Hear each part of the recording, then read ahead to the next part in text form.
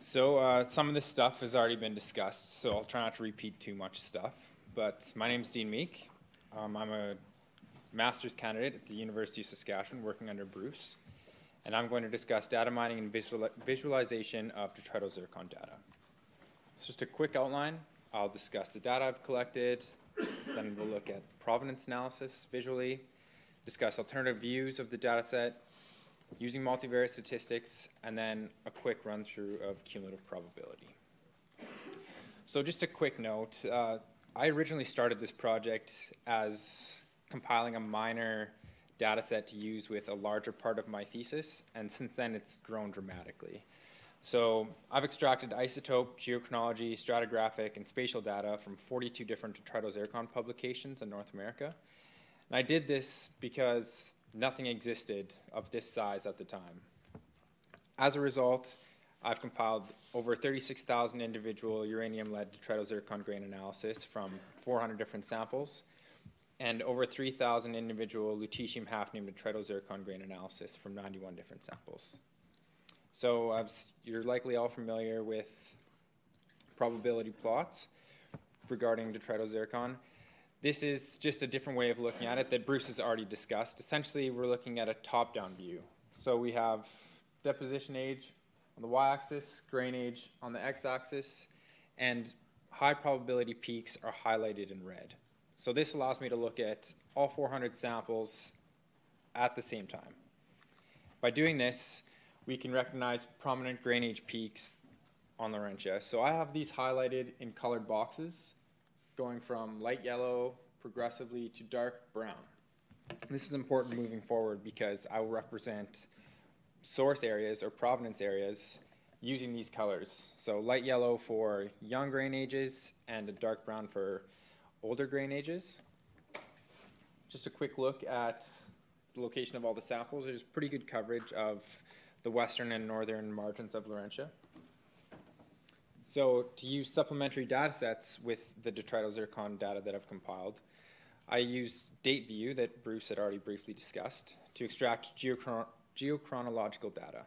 So I was able to extract more than 69,000 igneous, metamorphic, and cooling ages from around the globe, as well as 7,500 neodymium isotopic analyses. Just quickly visualizing where all these points exist. These are the crystallization and metamorphic ages extending from 66 million years to 2,100 million years. We have a pretty good range. And also I should point out that moving forward, I'm going to use the same color scheme. So crystallization is represented in red, metamorphism is represented in blue. I've also extracted cooling ages, pretty good global extent there. And this is my igneous data matching to zircon grain age peaks. Essentially, this is a map showing potential provenance source locations for all my samples moving forward. As I had stated, young grain ages are represented in light yellow, and older grain ages are represented in a darker brown. Everything between's a color ramp. I've also added the geological map of the Arctic. So in this form, we have many lithologies represented, which is fantastic. But for my purposes, I wanted to show a more simple form, as Bruce had already showed the, uh, the depositional environments, which was available in the background attribute information. So using databases, I was able to query all the information, rearrange it to display the sedimentary environments of this map instead. So I can use this to help determine or to ensure that my data collected for the detrital zircons are accurate. Finally, I use G-Plates as plate tectonic software to compile all my information on and then visually analyze provenance. So I'm going to start with an example at 1,000 million years. In the Neoproterozoic, Robert Rainbird has proposed a massive fluvial system flowing across Laurentia. So I figured I would show an example of how my data supports that theory. So I have one sample location at this age in the northwest corner of Laurentia, and I have a whole bunch of supplementary data. I've already explained the color symbology, so I have the Grenville orogeny right here. We can see there's quite a bit of metamorphism, crystallization, and this is also an area for potential sources for the sample found up here. So looking at all the data, I don't have anything obstructing this flow path, and these are the only plausible source locations for the sample. It seems reasonable that there was a flow path across Laurentia from the Grenville orogeny up to the final deposition point. Looking at 900 million years, still in the Neoproterozoic, we see a similar pattern.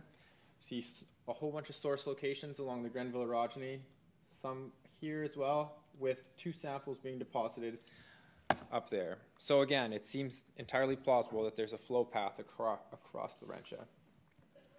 And then finally, at 700 million years, again, very similar patterns where we have sources, and then the deposition of the sample, it seems plausible that Robert Rainsford, Rainbird's proposition of a neoproterozoic drainage system on Laurentia is accurate, looking at the data that I have. So a different way of looking at the detrital zircon data is inspecting specific grain age peaks. So rather than looking at a sample and trying to analyze where all of the grain ages come from at the same time, we can look at a specific grain age peak and try and figure out where those samples came from just for that grain age. Oh, and I should also mention that we can possibly identify sediment recycling. So for the grain age that I had highlighted, but it is 1,690 to 1,775 million years old. I've plotted all the sample locations represented by crosses and then varying colors, as well as the potential zircon source locations.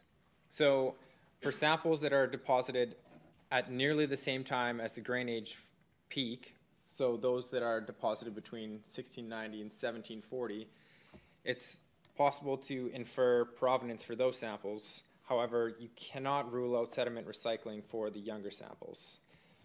So looking to G plates to help us analyze the older samples that were deposited at nearly the same time as grain age formation. We can see that there are two separate locations, one to the north and one to the south. Looking at our potential provenance locations, it seems reasonable that these bottom samples were derived from these provenance locations as this plate is not yet connected to Laurentia according to our model. However, it's harder to, to determine provenance for the source up here as there are many different potential source locations. So using our hafnium isotope data that we've compiled, I was hoping to hopefully refine some of this information. So with the previous example, it's hard to tell exactly what source location these are from. If we have enough hafnium information, we can perhaps characterize those provenance a little bit better. It's looking at the exact same age peak with provenance, or, sorry, the same age peak with the hafnium data involved. I can use my supplementary neodymium isotope system dataset and transform those values into epsilon hafnium values based on the work done by Vervoort et al. 1999, which demonstrates a strong correlation between epsilon neodymium and epsilon hafnium. So I just use this equation here. And so plotting that globally, these are all the epsilon hafnium points that I have. It's pretty patchy. It's a pretty small data set. So unfortunately, when I plot the samples that have those grain age peaks, I only get two samples that were crystallized in that age frame.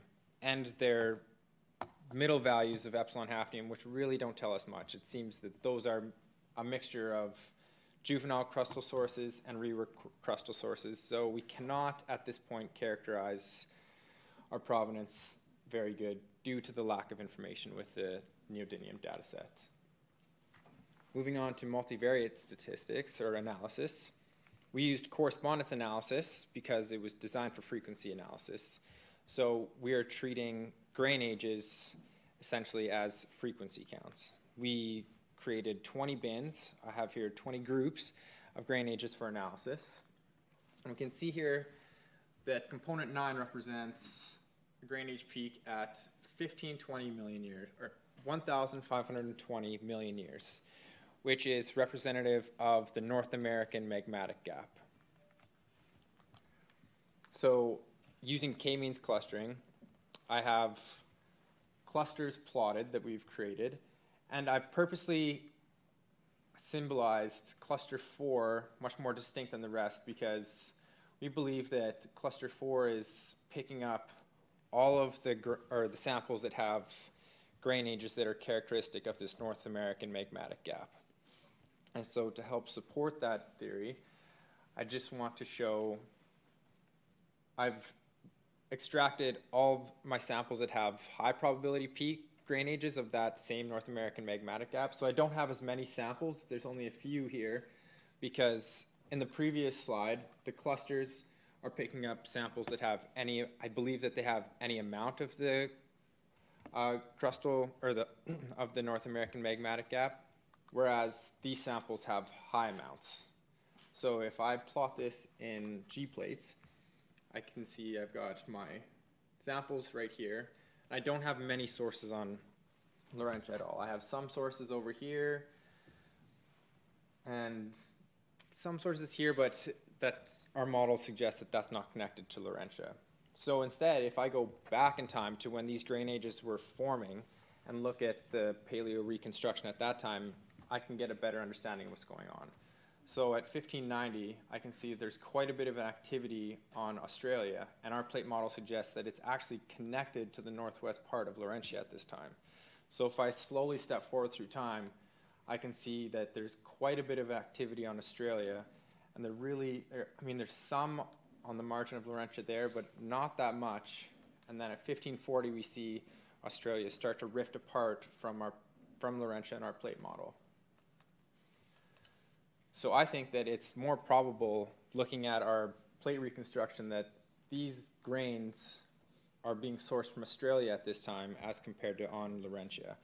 So uh, what I'm trying to emphasize here is that plate models are very helpful in this sense because we get a better idea of what's actually going on at the time rather than looking at current plate tectonic locations.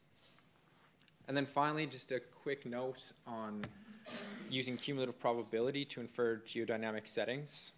We can do this based on the paper by Cawood, Hawkesworth, and Dhuime in Geology 2012. So figure three just shows the workflow process for doing this. And this is a cumulative, cumulative, cumulative probability plot for all my samples. So red represents convergent tectonic settings, blue is collisional, and green is extensional. And plotting these, this essentially helps us quality check our plate tectonic model. So these were actually some of the grains that we were looking at previously where we saw the chunk of landmass accreting up into Laurentia. So this is suggesting that there's a convergent margin there, which when we saw that sample, or when we saw that G-plates frame, suggests that that's true. So future work, this project has been primarily limited to visualization of the data at this, at this state with limited multivariate analysis. So in future, I'd like to draw more on multivariate analysis and machine learning techniques to have a better quantitative assessment. And that's everything.